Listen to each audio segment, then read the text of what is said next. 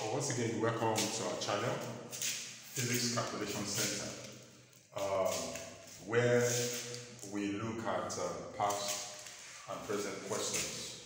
Uh, today, we'll be moving on on area and cubic expansivity, but today we're going to be employing those formulas in calculation uh, for updates and uh, periodic notifications please press the notification bell and subscribe to our channel so that I can keep giving you regular update. Thank you. Now, a solid metal cube of side 10 centimeter is heated from 10 degrees centigrade to 60 degrees centigrade. If the linear expansivity of the metal is this, calculate the increase in volume. You know, we know in linear expansivity there's nothing like volume. But once metals are once you are asked to calculate linear expansivity and you are asked to calculate volume, you should know volume has to do with cubic expansivity. You should know that. So the first thing we are going to be doing is to write the parameters down. Okay, after we write the parameters, what do I have? I have a metal cube. We know a metal cube. So which means this metal cube has solution. Okay, this is a metal cube. So the metal cube, metal cube has 10 centimeter side. To get this volume, you do L times B times H, which will give you 10 times 10 times 10, which will give you 1000 cm cubed. So that's the volume. That's V1. Okay, good. We have the initial temperature to be 10 degrees centigrade. We have the final temperature to be 60 degrees centigrade.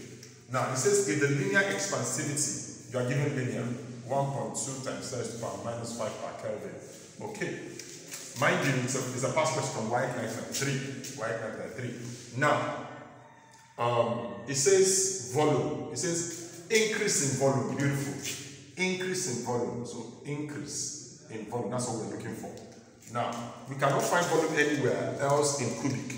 So what we'll do is that since you know that cubic is three times expansive, expansivity, linear expansivity, so this will automatically become 3 times 1.2 times 10 to the power minus 5. Okay. Okay, beautiful. So having, having done that, we have 3.6. So this one gives us 3.6 times 10 to the power minus 5. Okay, minus 5 per Kelvin. So that is our cubic expansivity. Beautiful. Now, from the formula, cubic is increase in volume over initial volume theta 2 minus theta 1. Okay. We know the cubic now to be 3.5 times 10 to the power minus 5. Okay. We don't know the increase in volume, but we know the first volume which we have brought out, which is 1000. 1000. Initial temperature 10, final 60. Oh, beautiful. So from here we can do 3.65 times 10 to the power minus 5 equals increase in volume 1000 times 50. So increase in volume will obviously become 50,000 times 3.6 times 10 to the power minus 5. Okay.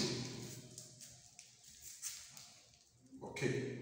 So that would be, so when you multiply this together, the increase in volume would be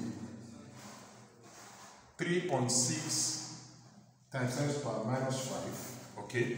So when you do this, it's going to give us 1.8 centimeter cube. So the increase in volume, it says calculate the increase in its volume. The increase in its volume is 1.8 cm cube. Okay, that is solution 1.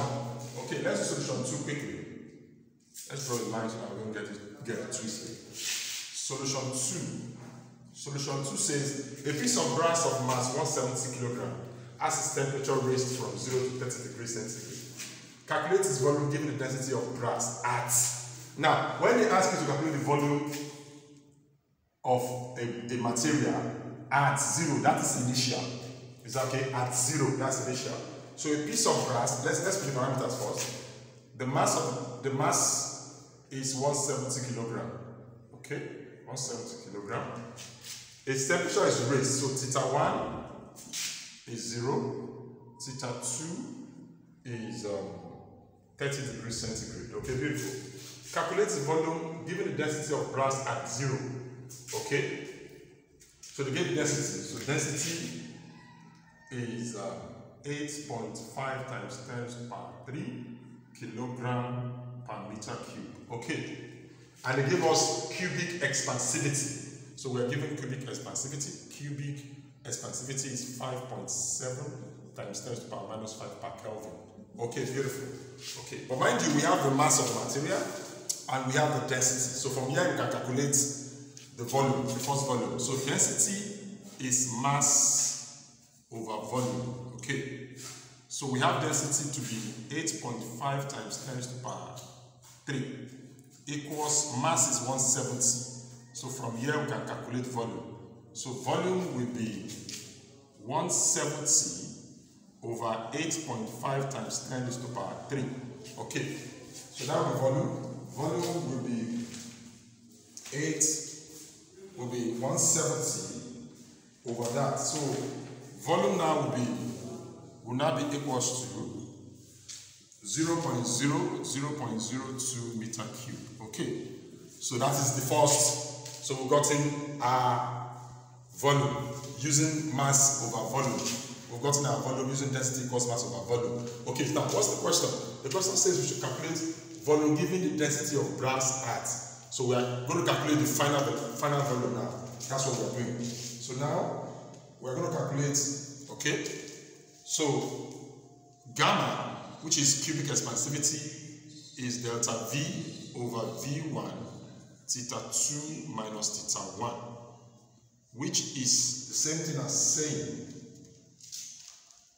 delta V, which is equals to gamma. Gamma is given, which is cubic expansivity times 10 minus 5, okay? Okay? Times the V1 that we got, 0 0.02, then the temperature change, which is 30 minus 0. 30 minus 0. Okay, so from here now, our volume, the volume given the density of brass at that, so the volume will now be 3.42 times 10 to the power minus 5 meter cube. Okay, so from here you can see everything is in meters. That's why we're not converting. This is meter. They are standard standard units, kilogram, meters. So everything should be meters. So don't need to convert anything. So from here you can see, we can see the volume, its volume given the density. So this is its volume, increased volume. And we calculated the initial volume using mass over volume, using density equals mass over volume. Uh, in our next video, we continue more on this. See you then. Bye.